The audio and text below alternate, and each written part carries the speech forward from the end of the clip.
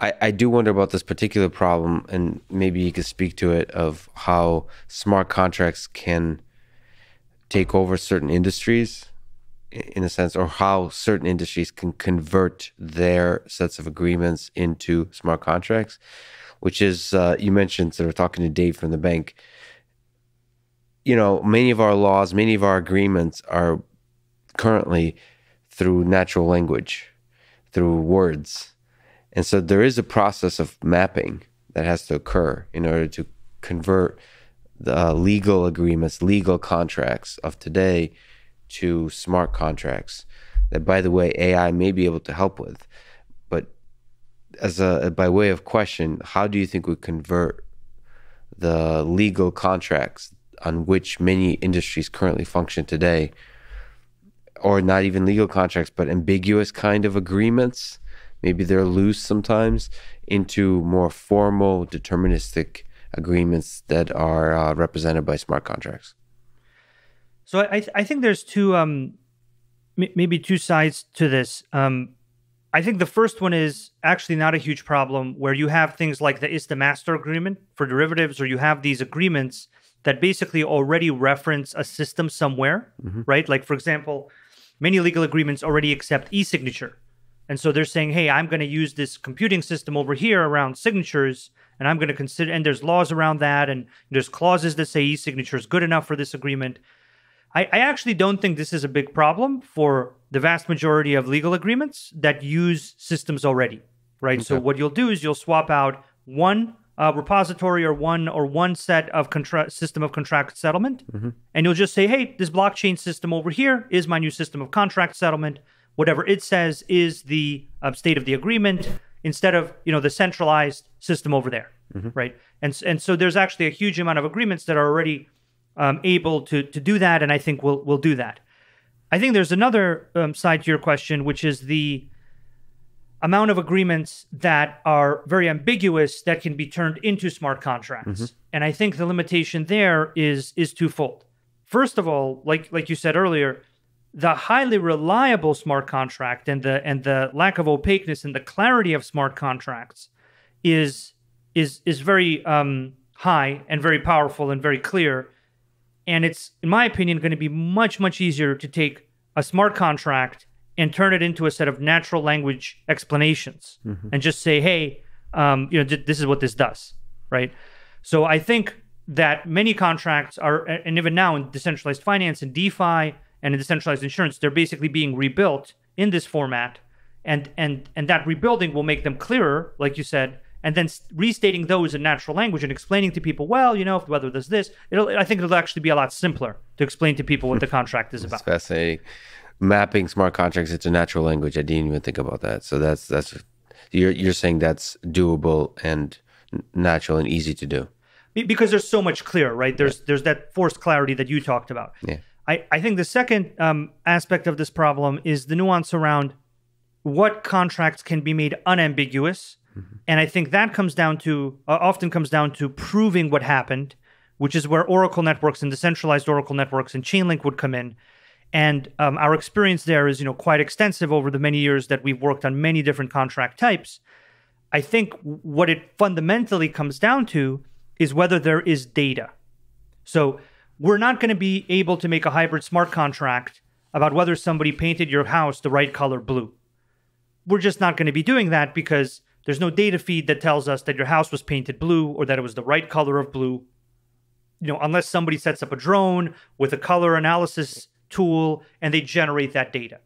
Which, by the way, could be possible, right? They could, there could be, if there's enough demand, then the service would be created that has drones flying around that's telling you about the colors of, you know, all this kind of stuff. So if there's actual demand, that that will be created, and, and because because there'd be value to connect that data feed to the smart contracts and so on.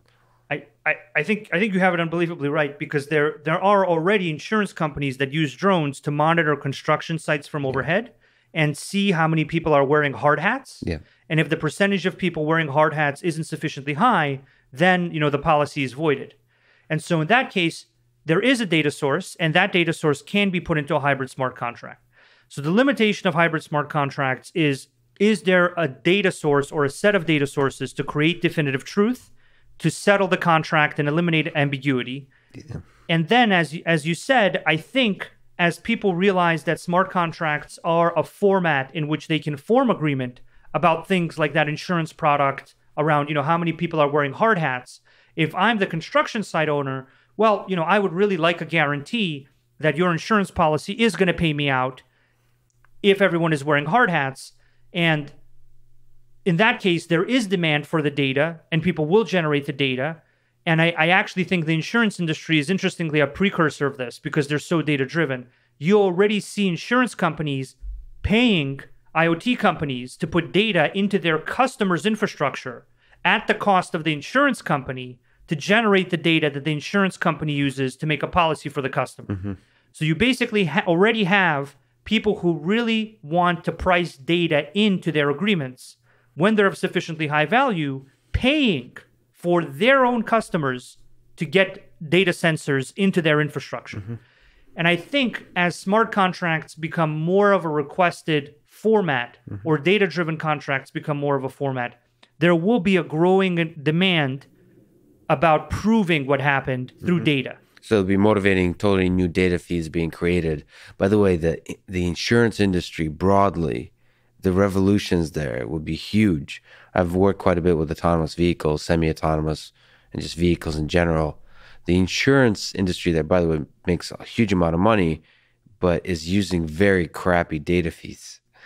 Uh, revolutionizing how like not by crappy I mean very crude. Like literally the insurance is based on things like age, gen like basic demographic information as opposed to really high resolution information about you as an individual, which you may or may not want to provide.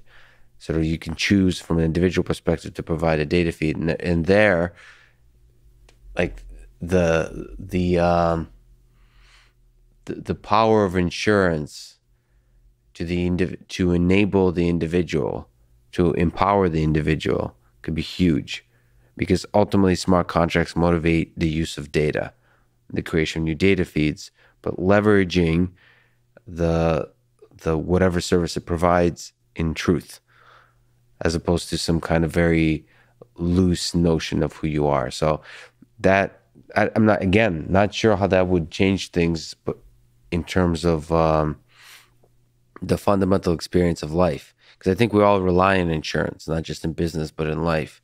And grounding that insurance in more and more accurate representation of reality might just have transformative effects on society.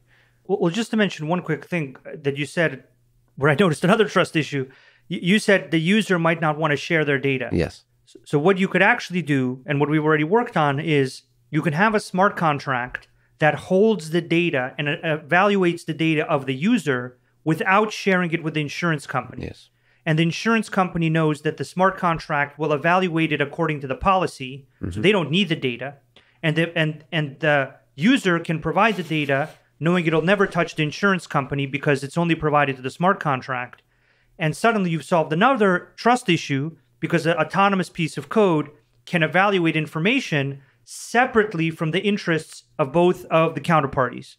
And so this is the recurring theme. I think you're seeing this recurring yes. theme where there's a trust issue, people can't use the system, they can't collaborate, they can't share information that would make a better agreement for both of them, they can't you know solve a risk in their daily life. They can't participate in a market. They can't have a bank account because nobody will give it to them because you know they can't give it to them in that legal system. And once you have an autonomous piece of code that can also know what's going on thanks to Oracle networks and that combination of the code and the Oracle network for the hybrid smart contract the same pattern just recurs. It's it's really the same pattern. And and this is why I keep saying trust issues. It's because I basically almost every contractual trust issue that I see where there is a piece of data to prove and settle the trust issue in a way that works for both parties um, there is no reason not to use an autonomous, highly reliable contract and piece of code. And uh, I have to tell you, I've seen this in in a lot of different industries. I've seen it insurance, ad networks, global finance, global trade. Those are all multi-trillion dollar industries. And then there are there are other smaller industries Like even even one of the first smart contracts we worked on many years ago was for search engine optimization firms, mm-hmm. Where they would tell you, "Hey, I'm going to raise your search engine ranking. Give me the money." And people wouldn't want to give them the money because they they never knew if they were going to do it. And then the search engine firm doesn't want to do any work, thinking they'll never get any money. Mm-hmm. So we just came, initially even came up with a system where you could put Bitcoin into a smart contract, and it would be released based on whether the search rank of a website got to a certain level on Google for a certain keyword, right? And so the trust problem was solved.